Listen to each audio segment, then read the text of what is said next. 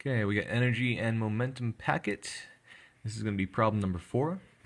The problem number four is the one with the two puzzle cars, um, or rather the puzzle car and the puzzle truck.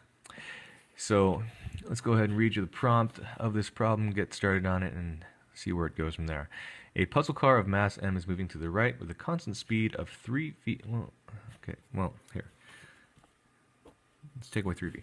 5v with a puzzle truck of mass 3m, it's moving, or while a puzzle truck of 3m is moving straight towards it to the left with a constant speed of 2v.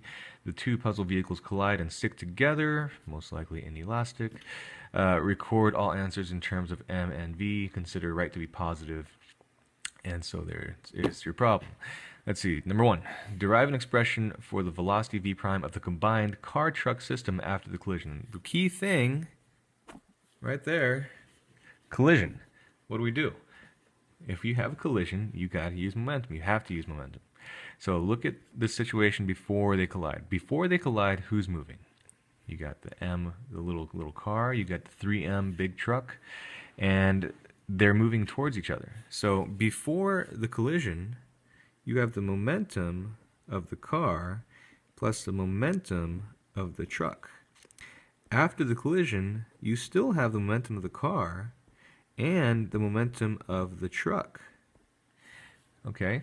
So that's I mean that's your moment, momentum equation. Both things still exist.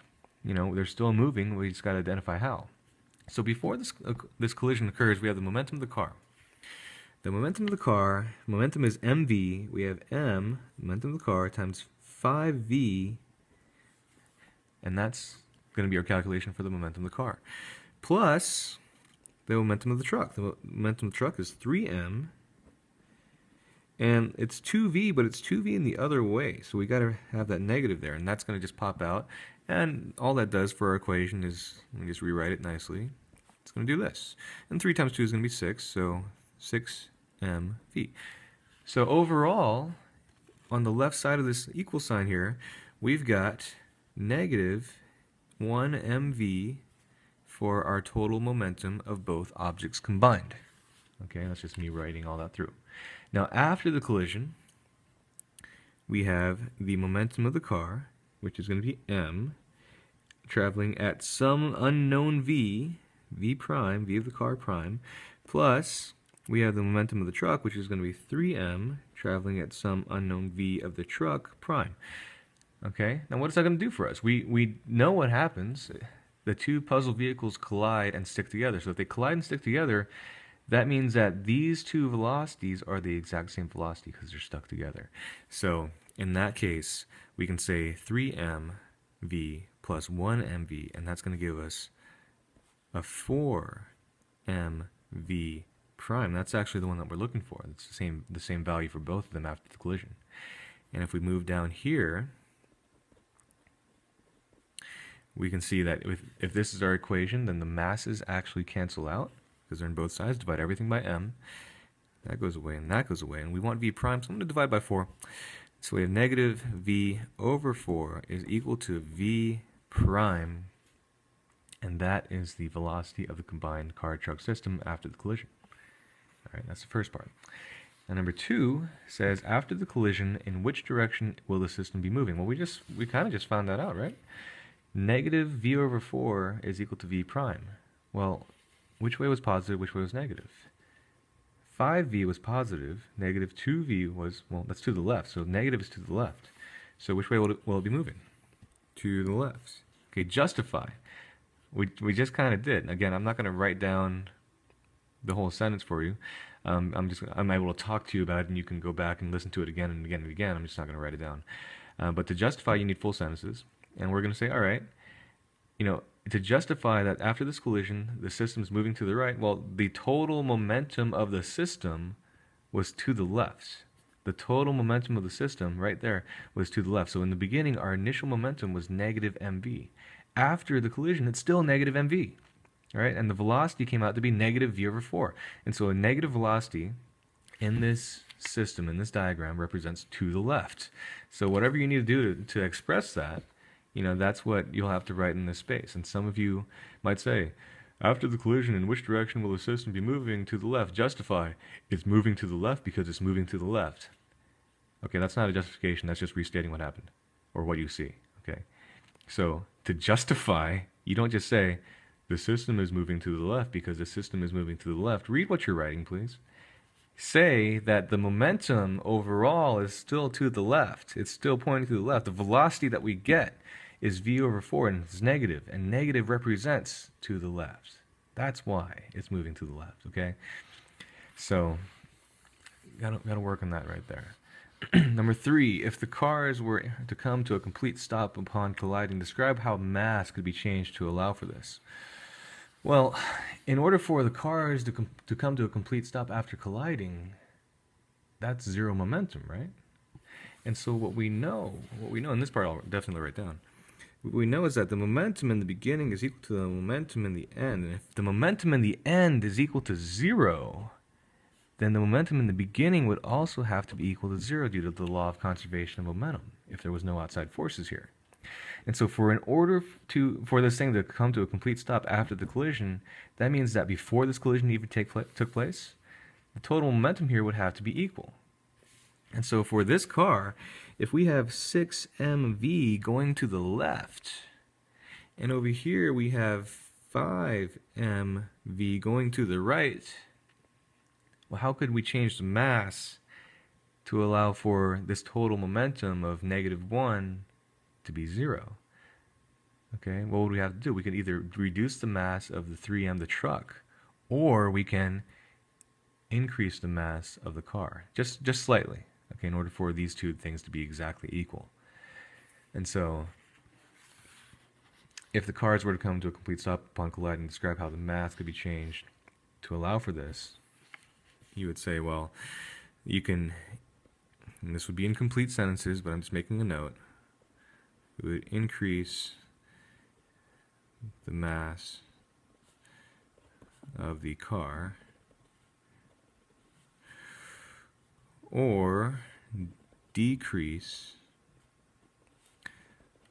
the mass of the be, there should be a V there truck. Yeah.